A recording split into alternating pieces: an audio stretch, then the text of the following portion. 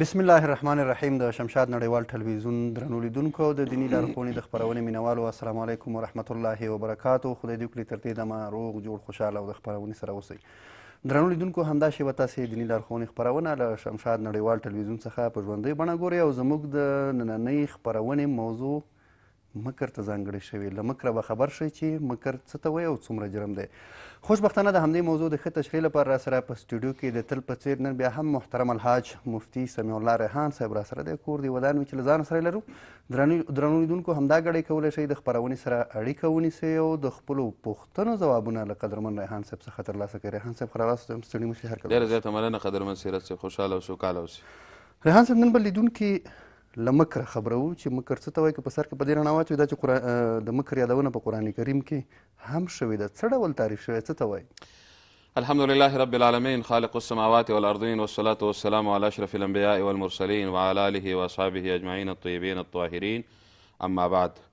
ومکرو ومکر الله والله خیر الماکرین صدق الله مولانا العظیم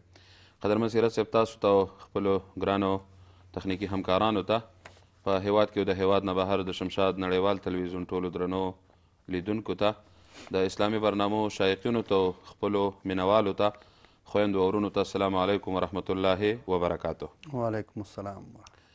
قدرمن سیرت صاحب قران کریم کې چې د مکر تذکره شوې ده نو هلته مفسرین حضرات تینا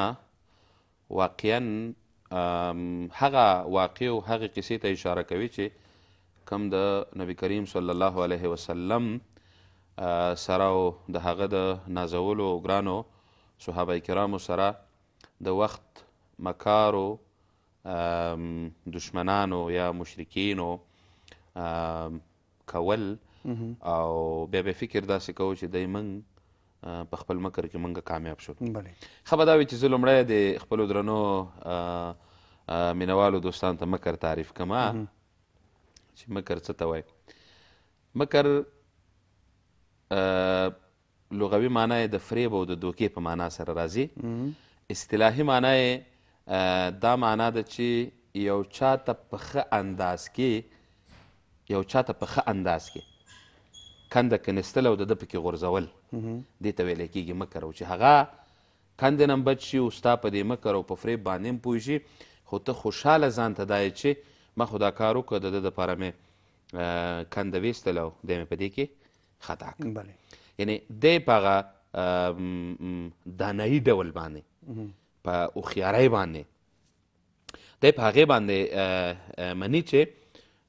زه په خپل دغه کې کامیاب شوم په خپل مکر کې او په خپل فریب کې او په خپل دوکه کې خو الان هغه په خپل مکر او فریب او دوکه کې کامیاب نه وي د مثال په ډول باندې یو څوک د چا نه پیسې اخلي بیرته د ورکولو اراده نه لري خو په یو چل او په هنر ترې نه اخلي یو څوک غواړي چې د یو چا سره تر مطلبه پورې دوستي وکړي یا ملګرتوب ورسره وکړي دا هم د مکر یو اړخ کېدلی شي بل دا کېدای شي چې سړی وغواړي چې د خپل هغه اصلي مسیر نه ځان بچ کړي د کار نه ځان بچ کړي دلته هم مکر کېدلی شي فریب کېدلی شي دوکه کېدلی شي خو ستاسې د سوال متعلق که وایم چې الہ العالمین قران کریم کې د مکارانو د فریبکارانو د مکر پر رابطه چې دوی مکر وکړو و مکرو دوی مکر وکړو یا مکر کوي یا د مکر اراده لري یا د مکر اراده درلودله خو الہ العالمین جل جلاله د هغه بدله دوی ته ورکړه او الہ العالمین خ بدله اغستونی کړي دلته پیغمبر علیه الصلاۃ والسلام ته کند کنستل بله صحابه کرامو ته کند کنستل او د نبی کریم صلی الله علیه وسلم او د هغه ملګری په دغه کندو کې د هغې دپاره دا جوړول چې دی په دې کې ګزار شي او پکې خطا شي خو خطا پکې نه شو نو د دې وجې نه اله العالمین جل جلاله فرمایي چې تاسې خو مکرونه کوئ فریب کوئ دوکې کوئ تاسې خو جوړوئ خو حقیقت دا دی او اساسي موضوع دا ده چې نشئ کولای تاسې په دې باندې کامیاب شئ ګورئ حدیث کې راځي نبی کریم علیه الصلاة والسلام فرمایي الکیس من دان نفسه وعمل لما بعد الموت هوښیار سړی هغه څوک دی چې ځان وپېژني دلته محدثین دا معنا دا ترجمه د حدیث کوي او په تشریح په مطلب کې دا هم لیکي چي هوښيار سړی په دې مانا چي د چا په مکر او د چا په فريب باندي دوکه نه شي، د هغه په مکر باندي او د هغه په فريب باندي دوکه نه شي، که چيري په مکر او په فريب باندي د هغه دوکه کيږي بيا دي هوښيار نه دی. الکيس من دان نفسه وعمل لما بعد الموت، يعني مسلمان بايد هوښيار وي، اساسي موضوع دلته دا ده قدرمن سیرت صاحب لکه څنګه چې قرآن کریم کې الله العالمین جل جلاله فرمایلی دي د اسلام دښمنان تمامي عمر د دوکو د مکر او د فریب نه کار اخلي که زه په ډیر ساده او په ډیر واضح او په ډیر امیانه لهجه باندې وایم د څلوېښتو کالو نه چې کوم مکر موږ سره کیږي افغان ولس سره کېږي، افغان ملت سره کېږې او د افغانستان دې پاکې او مقدسې خاورې سره کېږې، د دې شهیدانو او د یتیمانو د خاورې سره کېږې او موږ تل په دې مکر او فریب کې دو ښکیلو یعنی موږ پکې لا اوسه پورې خلاص نه یو لا تر اوسه پورې خلاص نه یو یعنی يهوديان نصرانيان کافران چې څوک د اسلام د دین مخالف دي او د دوی منونکي مسلمانان بله د دی منونکي مسلمانان دا د افغان قهرمان اولس سره په دوکه او په فریب کې روان دي غواړي چې دا جنګ اوږد شي او موږ په جنجال باندې واړوي دا یوه عمومي خبر ده چې ما وکړله شاید ستاسو په نورو سوالاتو کې جزئیات هم موجود وي زه په لومړي سر کې جزئیاتو ته نه ځم زه وایم چې هر هغه څوک چې مکر کوي، فریب کوي، دوکه کوي او د دې لپاره یې کوي چې ځان کامیاب کړي او بل مسلمان د سوال لاندې راولي، بل مسلمان د ناکامۍ سره مخامخ کړي او بل مسلمان په کنده کې خطا کړي، دی دا سوچ کوي چې دی باید په دې کنده کې خطا شي. اصلاً اصلاً دی خپل ځان ته دوکه ورکوي، بل چا ته دوکه نه شي ورکولی. مننه ریحان صیب. اړیکه لرو، السلام علیکم ورحمت الله.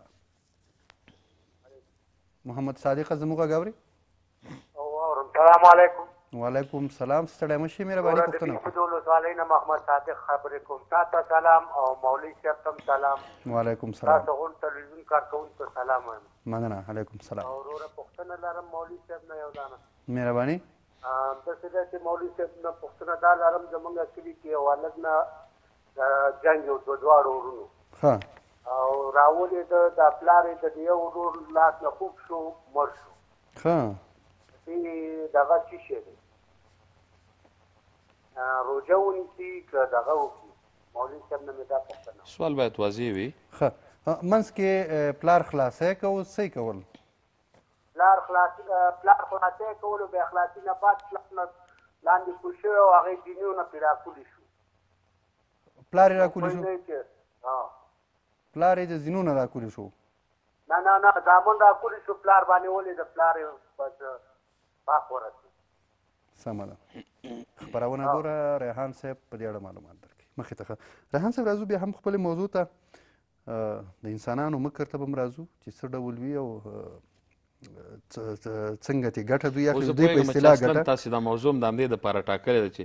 د نن زمانه د مکران خلک پوه شي او د نن زمانه تر څو خلک پوه شي د خلکو په مکرونو باندې چې دا مکر کوي هغه نه مخکې و دغه منشي ته بیره شو چې شیطان ته راځو چې د شیطان مکر څه ډول دی ګورئ شیطان د لفظ سره هر څوک اشنا دي او د مکر او د فریب سره هم هر څوک اشنا دي خو چې څوک دې ځان ساتي معلوم خلک دي هغه د ګوتو په شمیر خلک دي او هغه چې تنه ځان نه ساتي هغه هم معلوم دي شیطان خو لومړی تکبر وکړه بله لومړی تکبر وکړه تکبر یې دا وکړه چې اله العالمین جل جلاله ورته وفرمایل چې ته د فرشتو په ډله کې ناست وي ولې دې سجده ونه کړه نو هغه ورته ویل چې څنګه سجده وکړم تاسو خو زما د پوزیشن لږ خیال وساتئ نو چې نو شیطان اوس تا پوزیشن څه دی وایي زما پوزیشن دا دی چې خلقتنی من نار و خلقته من طین زه دې د اور نه پیدا کړی یم او آدم علیه صلات وسلام دې د خټې نه او د خاورې نه پیدا کړی دی اوس ته ماته وایې چې دله سجده وکړه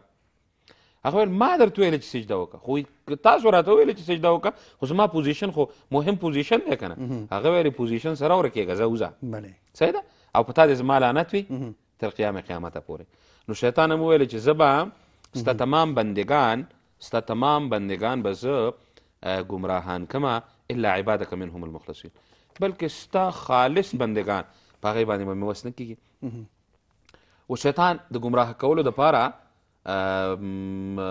په خپله چاته نه راظاهرېږي خو د انسان په بدن کې د وینې په رګونو کې روان دی صحیح ده شیطان دی روان دی او چې څونه سړی هوښیار وي دونه شیطان هم هوښیار وي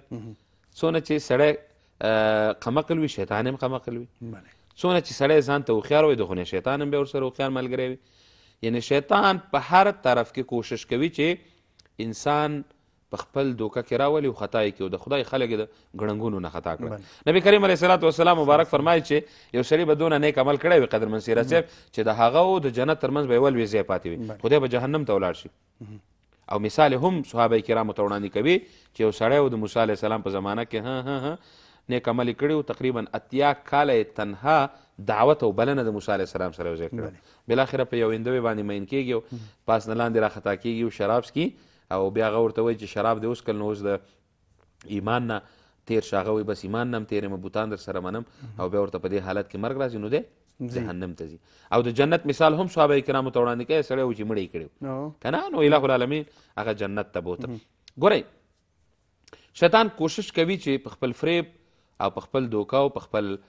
مکر کې انسانان واچوي په دې کې اچولي دي خو نبی علیه السلام د هغې دپاره نسخې ښودلې دي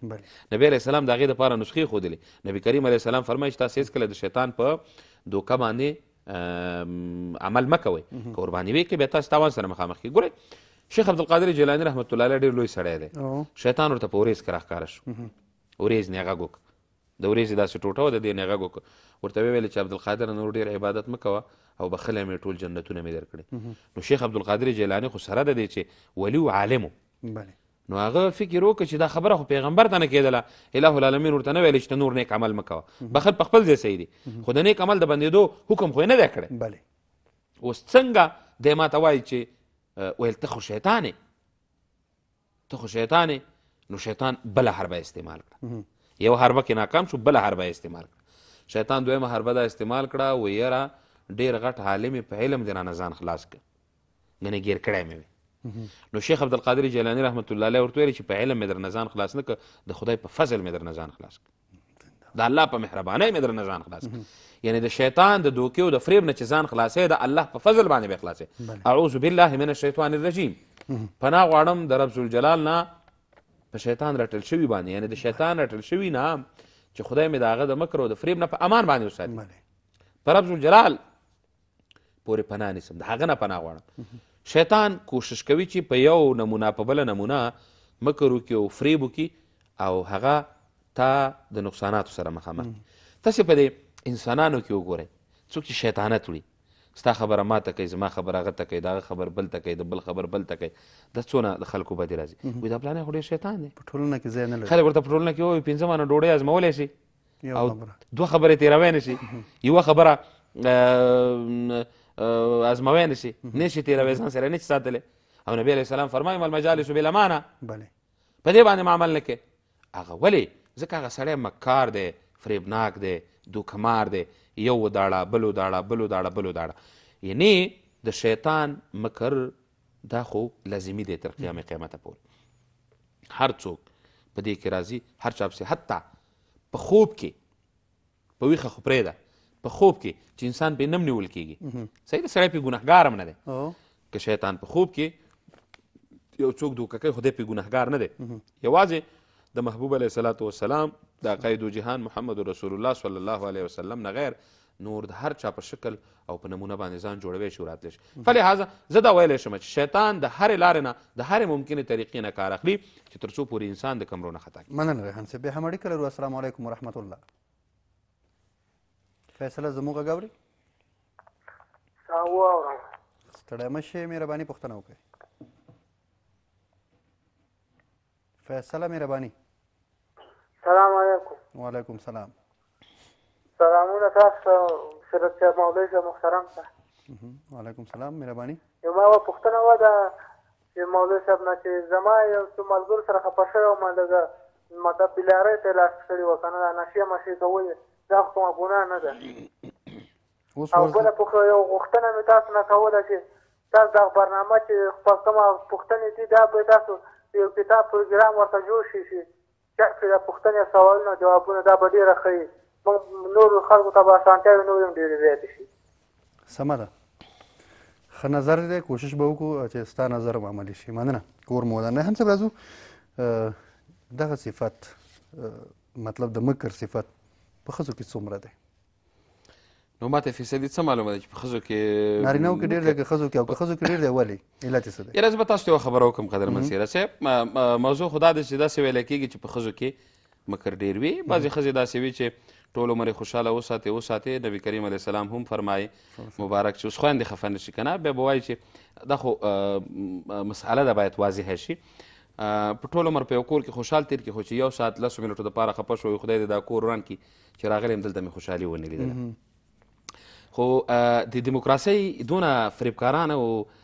دوکماران خلک پیدا کړل نارینه په سپینه جامه کې د ګیرې سره د پټکي سره د د د د, د علم سره د د د وکالتونو سره د ریاستونو سره د وزارتونو سره د وکالتونو سره د چوکیو سره چې د هغوی دوکي وګوري نو دا د ښځو دوکې او مکر د هغوی دپاره دغم نه دی هغه د امیانو په اصطلاح باندې د هغې دپاره یو وار د غم نه جوړېږي نو نسوار هم ترې نه جوړېږي اساسي موضوع دلته دا ده چې دا دوکه ولې پیدا کېږي کله چې انسان خپل وجدان ته نه خجالته کېږي او د کوشش کوي چې د د هرې لارې نه د هرې ممکنې لارې نه پیسې پیدا کړي نو د مجبور مکلف دی چې د دوکې ته لاس واچوي فریب ته لاس واچوي دا بدبختانه په ښځو کې موجود دي په هلکانو کې موجود دا په دا په هر چا کې موجود دی او دې نه دښمنۍ هم جوړېږي ګوره دا مجازي عشقونه چې کېږي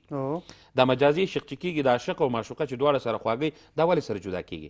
دا دواړه ولې نکاح ته نه رسېږي دا ولې واده ته نه رسېږي خو دا هلک بعضې نکتې په دې جلۍ کې نیولې وي او دې جلۍ بعضې نکتې په دې هلک کې نیولې وي بالاخره سر ته نه رسېږي چې سر ته ونه رسېږي د هغې نه مخکې تر مخکې چې واده وکړي کوژده وکړي د هغې نه مخکې تر مخکې جنجال جوړ شي د ښځې او د میډم همداسې وي کله میړه فریب وکي دوکه وکي مکر وکي او کله یې ښځه وکي نو که ښځه وکي که میړه وکي خو که د فیصدۍ خبرې ته راشو د فیصدۍ خبرې ته موږ راشو لکه تاسو چې د فیصدۍ پوښتنه وکړه نو ما وویلې چې دې ناوړې او غلطې دیموکراسۍ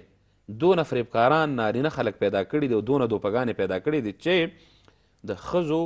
فیصدی د دی په نسبت باندی هغه کمه ده ښځه کې شاید دا مکر موجود وي د کور کارونه کی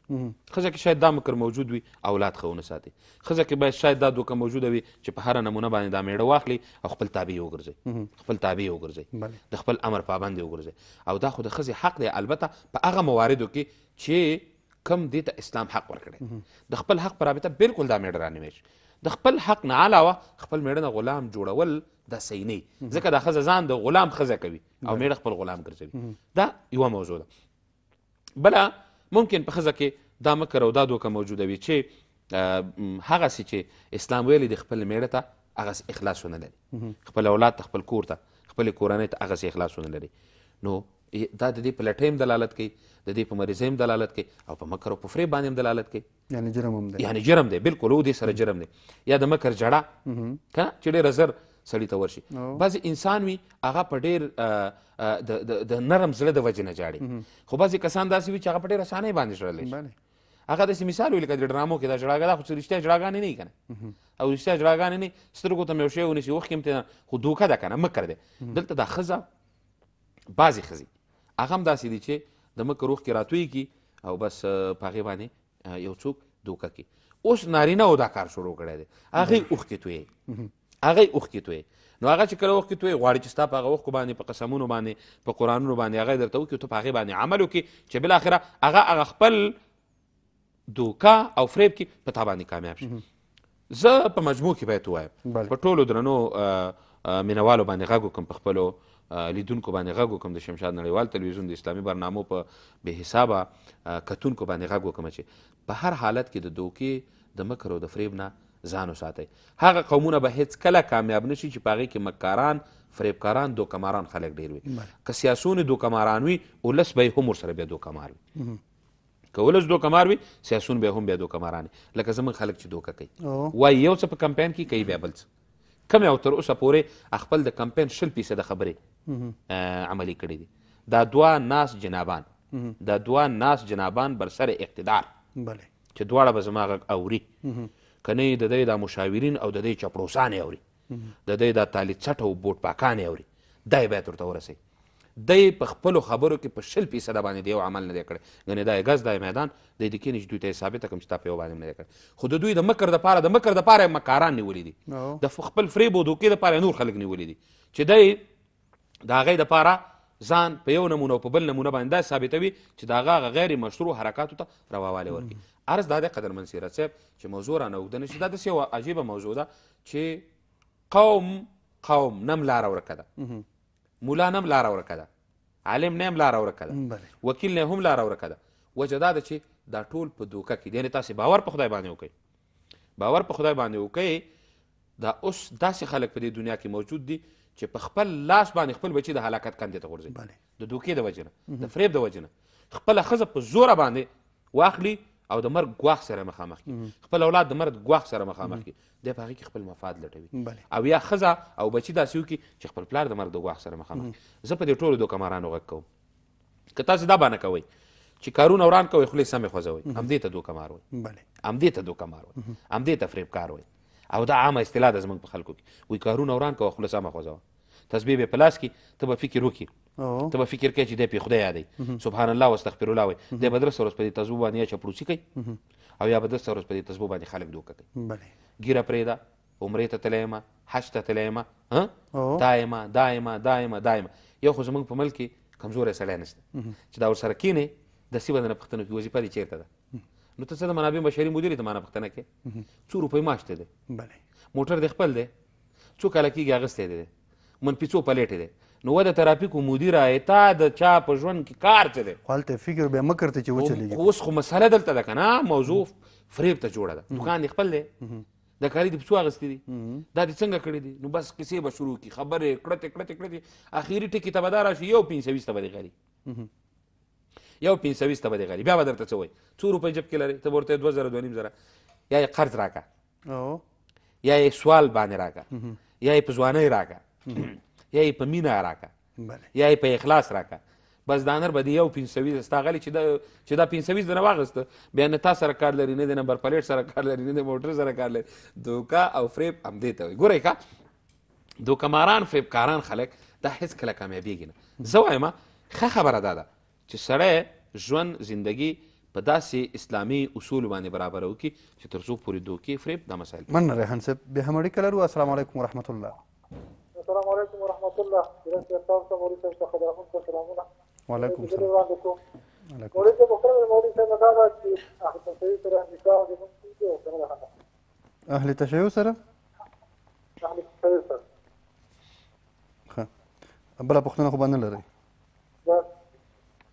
خپرونه ګوره ریحان صاحب په دې اړه معلومات درکړي ریحان صاحب خپلې موضوع ته راځو محمد صادق پوښتنې ته راځو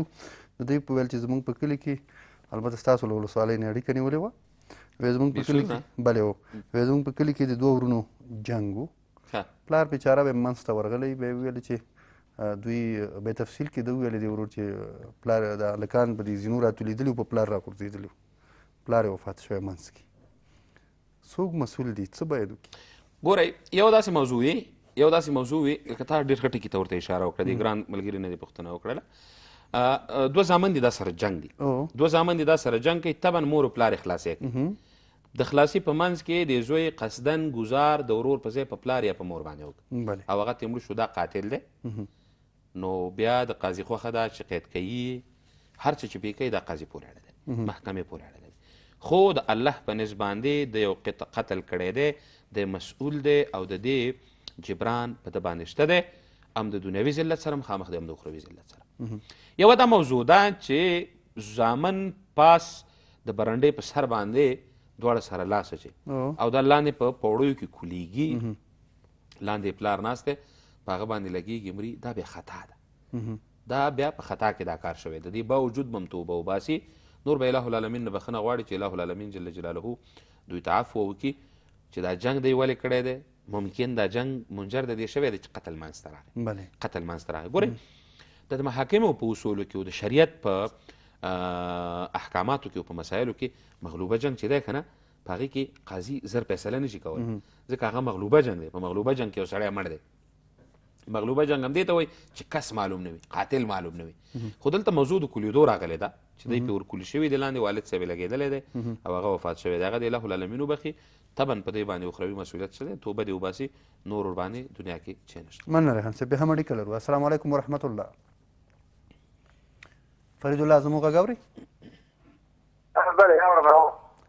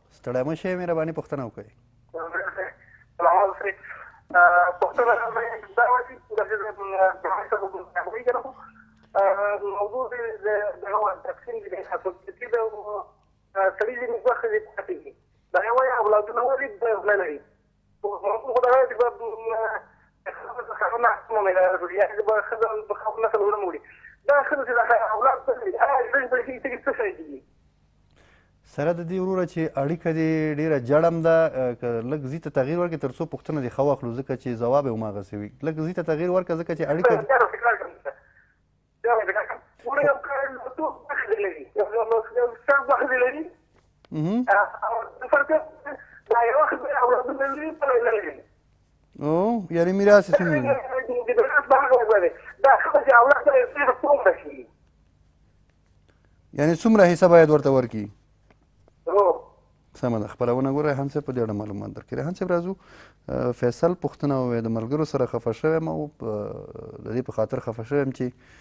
نشې او غیر شرعي اعمالو ته مخه کړې وه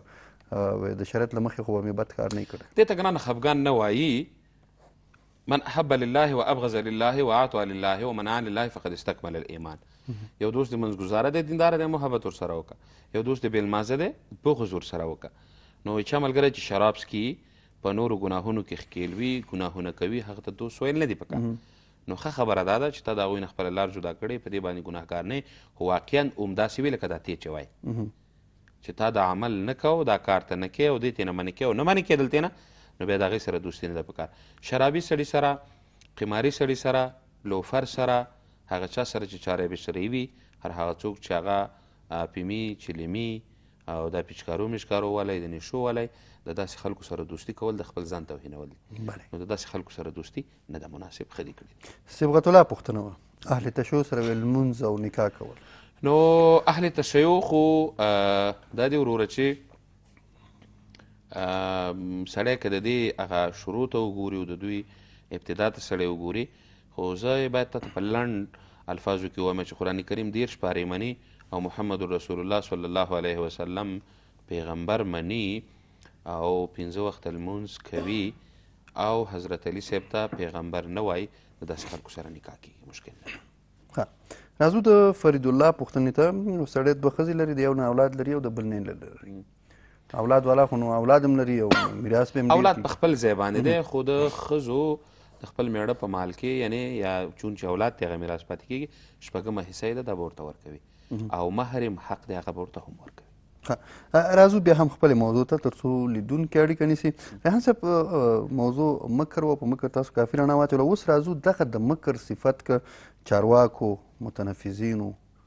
او حتی په علماو کې را پیدا شي داسې خلکو اطاعت په مسلمانانو لازمي دی او کنه څه باید هیڅ کله نه ګوره د دوکمار سړی د فریبکار سړی د هغه اطاعت کول لازمي نه دي ځکه سړی د دوکه مار کوي سړی فریب کار کوي حدیث شریف کې راغلي دي که یو څوک امام وي او ګناه کبیره یې کوله یا فاسق وي امامت یې صحیح دی امامت نه ټول امامتونه راځي د مسجد امامت ترې نه راځي د قوم امامت ترې نه راځي د ولس امامت ترې نه راځي حتی حکومتي چارواکي هم په دې کې راځي و ان عمل الکبائر بله که مرتکب د ګناه کبیره هم و نو بیا هغه اطاعت د هغه لازمي دی امام فضیل رحمه الله فرمایي چې د حکومت د خراب حکومت د مفسد حکومت ړنګول دا هم ګناه ده ځکه چې کله یې ړنګوې نو جنګ منځته راځي کله چې جنګ منځته راځي نو ته دا صلاحیت نه لرې چې ته روغ حکومتونه نظامونه ولو که مفسد وي هغه ته ړنګ کړي نو کله چې د هغې ړنګول نه وي په کار خو که چیرې دوکمار و فریبکار و بیا د هغه د ګریوان نه نیول په کار دي تر څو پورې چې زمونږ په ځوانانو کې دا شعور پیدا نشي او زمونږ په اولسونو کې چې په سولامیز ډول باندې خپل حق د چانه ونه غواړي نو بیا به موږ همدغسې په بېرحمانه توګه باندې مړه کیږو زخمي کیږو وینې به هم تویږي او موږ به ځورول کیږو هر څوک چې دوکه مار وي په ولایت کې والي په مسجد کې امام په کلی کې ملک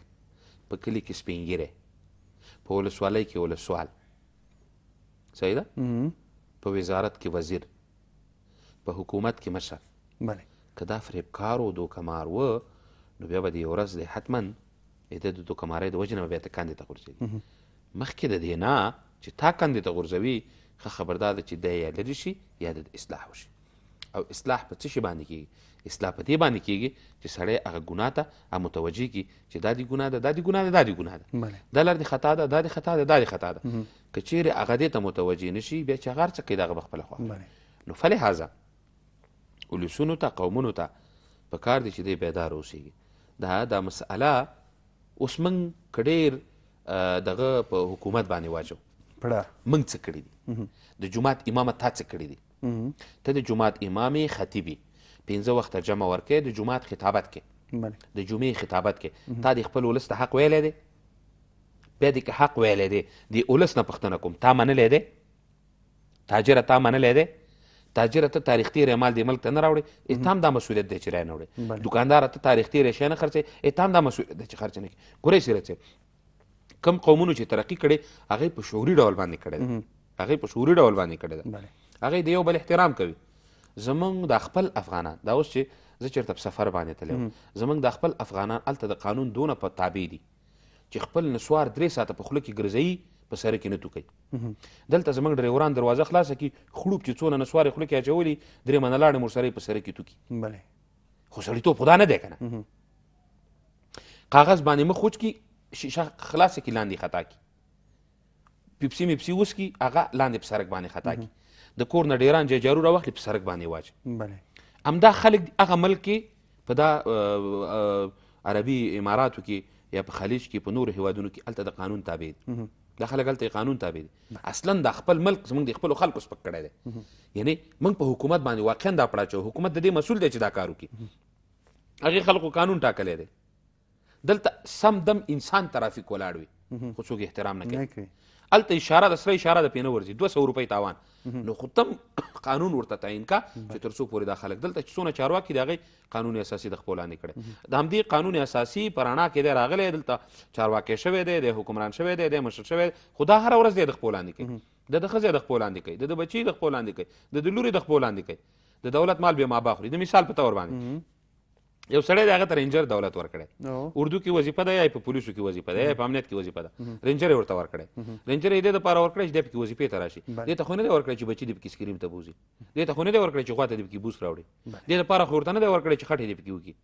دې دپاره خو ورته نه دی ورکړی چې دی دې پکې پردي لرګي بار کړي دې دپاره خو نه دی ورکړی چې دی دې پکې غلا وکړي دې لپاره خو نه دی ورکړی چې دا دې پکې قاچاق وکړي یعنی ولس ته هم پکار دي چې دا ولس بیدار شي زموږ دا ولس هم قصدن دوکي کوي فریب کوي دوکماري کوي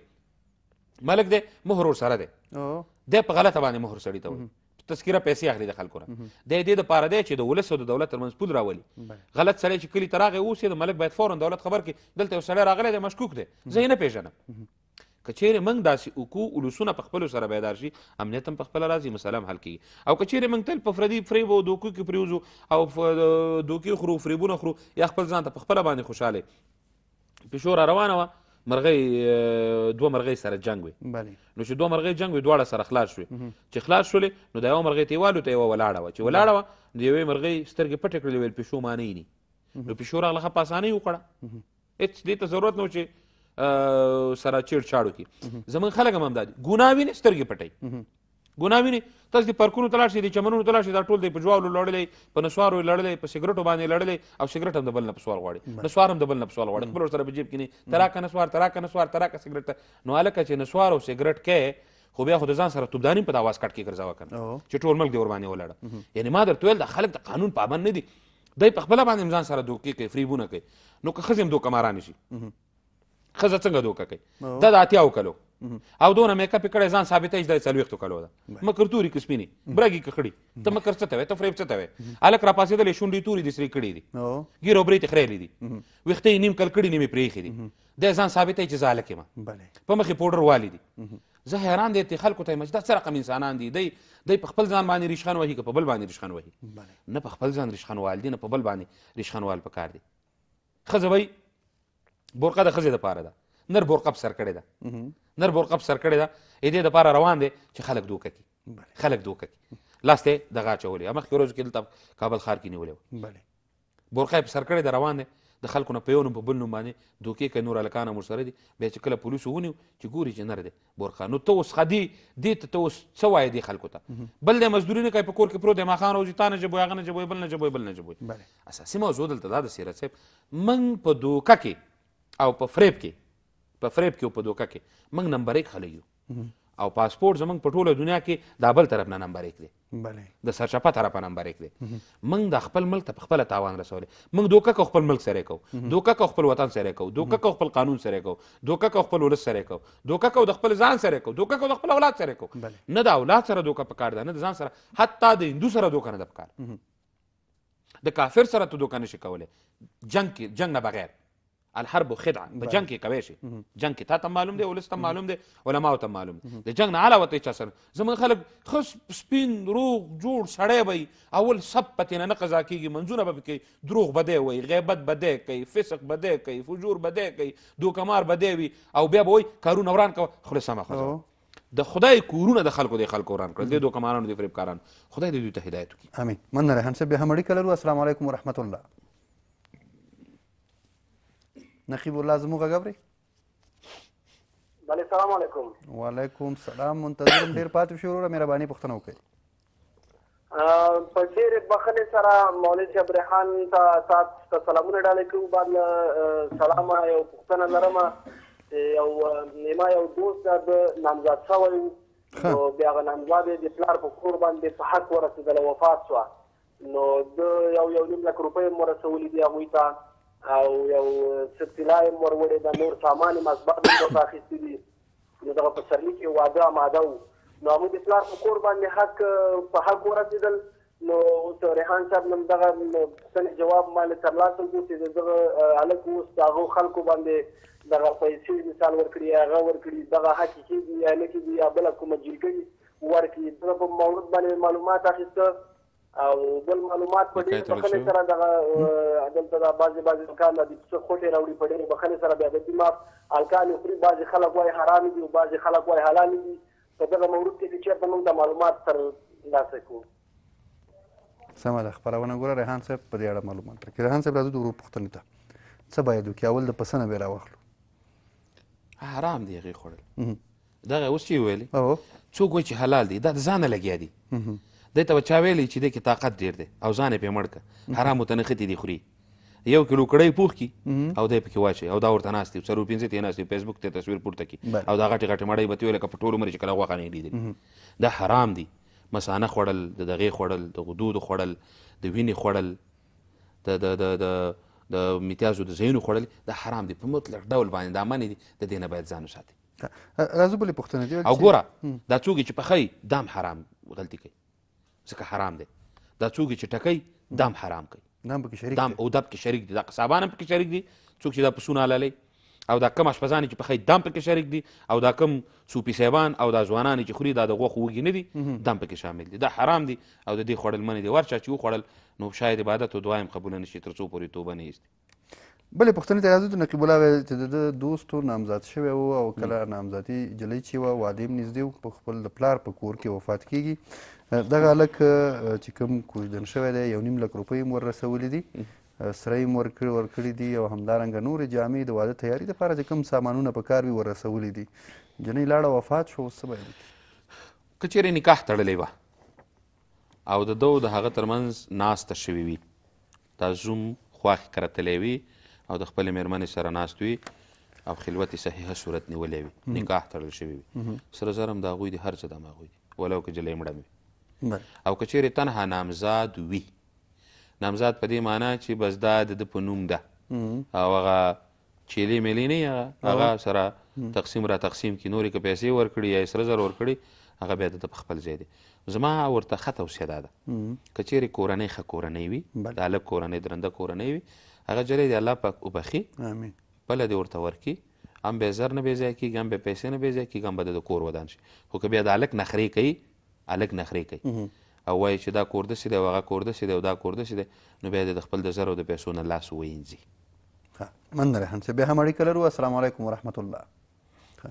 لیلا اړیکه پرې شوې ریحان صاحب راځو د مکر تاوانونو ته به هم راشو خو اوس بله هغې نه وروسته چې مکر تاوانونو ته راځو راځو دې ته چې اوس هغه انسانان چې مکاران دي او هغه شیطانان چې مخکې تاسو ورته اشاره لرله د نجات لارې چارې څه دي څنګه ترې سړی ځان ساتلی شي ګورئ د هر چا غیبت ناروا دی خو د دوکمار سړي غیبت روا دی د مکرجن سړي غیبت روا دی ولې روا دی د ظالم سړي غیبت روا دی ولې روا دی ځکه روا دی چې خلک د هغه د دوکې او د هغه د فریب نه خبر شي خبر شي د هغه د دوه درې ملګري چېرته تللي وو ښکار ترې نه په سوړه ننوتی و نو د یو ملګري لاس ور دننه کړی نو بس هغه چیچلی او ګوتې یې ترې خوړلې وې د ښکار او زخمی کړی چې زخمی کړی بیا د لاس پټ کړی وای نږدې کړی مې دی بل ته ویلې ته لاس ورننه باسه نو هغه هم لاس ورننه ایستی هغه یې هم زخمی کړی هغه هم لاس پټ کړی دی دریم ته ویلې ته پې ورځه نو دریم یې هم زخمی کړی دریم چې څنګه زخمی شوی یو چغې کړې وایي زما خو ګوتې وخوړې نورو دوه ورته ویلې وایي ګوتې زمونږ هم خوړلې خو مونږ وایي چې درې واړه کلي ته یو شی لاړ شو درې واړه کلي ته یو شی لاړ شو خبره درته دا ده قدرمن سیرت صاحب لارې چارې یې لارې چارې یې همدا دي چې دا خلک د دوکو نه لاس واخلي او زمونږ درانه قدرمن علما کرام په دې رابطه باندې باید ډیر قوي او مضبوط ګامونه اچوي یو تاجر راته کیسه کوله بله یو تاجر راته ویلي و چین ته لاړم او په چین کې مې مال اخیست وی مال می اغسته وی یو چینی راته کیسه وکړه وی یو مشهور تاجر یې راته د افغانستان وښوده وی راته ویې ویل چې هغه راغلی و دلته او چې موږ به ورته چای راوړو ویل به یې حلال که حرام وی چې غوښه به مې ورته راوړو ویل چې دا حلاله ده که حرامه چې ډوډۍ به مې ورته احتیاط یې ډېر کوو او ډېر احتیاط یې کوو او وی تسبیح هم دوه دوه اړولې وی بیا چې کله موږ سره اګریمنټ امضا کړ مال یې جوړو وی ویې ویل چې دریم نمبر جوړ کړئ ولیکئ پې اول نمبر دا تاجر به اوس زما به هغه برنامه نه قضا کوي اوس به یې وینئ خپله په امریکا کې به ورته ناست دي هغه ویلی وایي دې چیني راته کیسه وکړه چې د ستاسو د ملک د تاجر راته ویلی چین نه چې کوم مال راوړو چې مال به راکې راته دریم نمبر خو په کاغذ کې او په مال باندې چې مهر وهي اول نمبر به پې لیکي بله نو اوس په یقین کې په دې سړي یقین په کار دی نه دی په کار ځکه دا دوکه کوي امام بخاری رحمه الله ته چا ویل پلاني ځکه حدیث دی یو خبره کوم بل را پیدا نو هغه مبارک مزل وکه وکه وکال ته لاړ چې لاړ چانه پښتنه کړه د پلاني کور چیرته دی وی هغه دی کله چې دغه سړي کور ته ورځي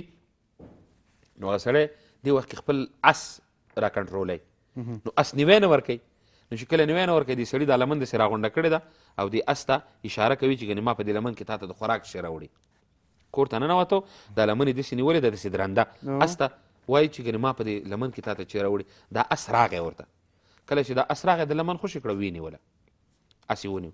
چې اس یې ونیو بس امام بخاري ته یې بېرته را روان شو نو سړي ورپسې غږ وکړه چې چېرته ځې هغه ویل چې اس سره دې دوکه وکړه موږ سره خو یې بیخي په اسانۍ باندې کولی شو اس دې په دوکه باندې راونیو ګورئ احتیاط ډیر ضروری دی احتیاط احتیاط ډیر ضروری دی سیرت صاحب چې چاته دی چاته دی یو شی د شمارلو لپاره پیسې د چاته شمارلو لپاره ورکړي بیرته پوره نه درکړي بله بیرته پوره درته نه درکړي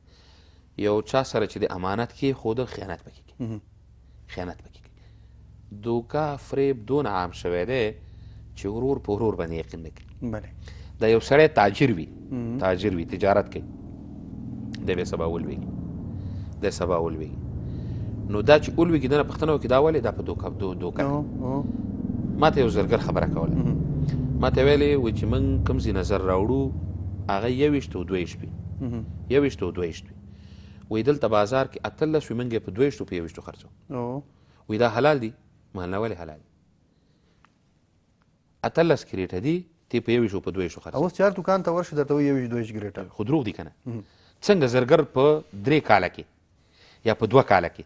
زرګر عصري کورم جوړ ک عصري موټر هم پیدا کړ د کم کړې ګوره د خونه ده کنه بله مساله دا ده چې ارزانه شی اخله او قیمت یې خرڅوه خود به خود ته مالداره کېږي خو دا مالداري ستا په درد نه لګېږي دا اوس په دې د ولسي جرګې په انتخاباتو باندې څونه دغه بولیانې پې شروع دي بولیانې پې شروع دي تاسې نه وینئ حق د خلکو نه ورک دی دا ګوره دا مسایل دي دا زموږ ملي مسایل دي که دې ته موږ توجه ونه کړو موږ به لا د جنجال سره موږ نه غواړو چې دې کندې نه راوځو موږ نه غواړو چې د فساد نه راوځو موږ نه غواړو چې د عمل د فساد نه وباسو رښتینې مبارزه ورته څوک نه کوي بله اڅوک چې ډېرې چغې وهي هغه بیا د ټولو نه خاین خیږي چې کله هغه په یو چوکۍ باندې کېناسته وایي پیشو تر هغې شیخی چې په مګو نه یې پیښه عرض دا دی همدغه د فساد موضوع تاسو یاده کړه د دې خلکو مشران چې دي د دې هر ورځ چې د هغې پسې دوی مونځ کوي پنځه وخته مونځ کوي علما کرام دي خو مخکې دي شي علما خو زه هم دا وایم کنه چې عالم ولی حق خبره ورته نه کوي یو عالم کلاړ شي او یو حکمران د گریوان راونیسي بله او یو لس عالمان ورسره نور ولاړ د هر چا د جواب دی خو د عالم د جواب څوک نه دی زمونږ علما هم نه کوي داسې زموږ شورای علما او زموږ درانه معزز علما کرام زه باید په ډیر وضاحت دی ولس ته ووایم چې ستاسې کوم مسؤلیت او اعتماد دی زموږ په علماو باندې دې دیموکراسۍ زموږ علما او د زمانې د جبر دې ته محتاج کړي دي چې حق خبره نه کوي د مرګ خطر دی ما ولې ځانونه دو ځان مې دونه ډېرو مشکلاتو ته ورکړ ای تا په یاد باندې څلور کاله مخکې ماته هیڅ نوع جنجال نه و صحیح ده بیغمه چې چېرته به تلم هلته به تلم خو دا جنجالونه په همدې حق پیدا کېږي حق خبره چې کوې څوک چې د حق نه خلاف ځي نن به څونه دوکماران او فریبکاران به زما دشمنان شوي صحیح ده زه وایم تاسو خپل کار کوئ زما مسؤلیت دا دی چې زه درته وایم چې ته دوکمار یې نو چې علما له مرګ نه ویریږي حق عرض دا دی ګوره سیرت صاحب افغانستان دوو خلکو خراب کړ بله